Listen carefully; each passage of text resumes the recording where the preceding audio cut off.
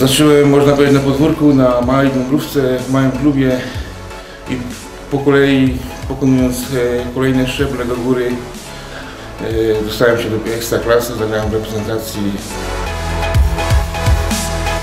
Jako młody chłopak e, też moim marzeniem było uprawianie sportu, przede wszystkim piłki nożnej. Zapraszam wszystkich młodych adeptów na zagrań na Bukowej. Sam kiedyś prowadziłem takie grupy i wiem, że jest fajna zabawa. Czegoś trzeba zacząć. Będą trenować z tymi, którzy już coś potrafią.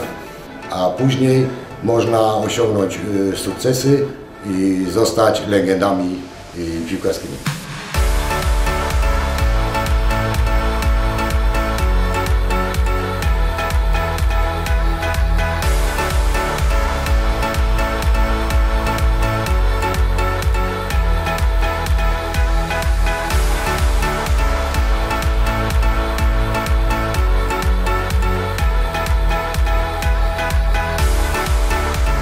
Gorąco zachęcam do treningów zagrań na Bukowej.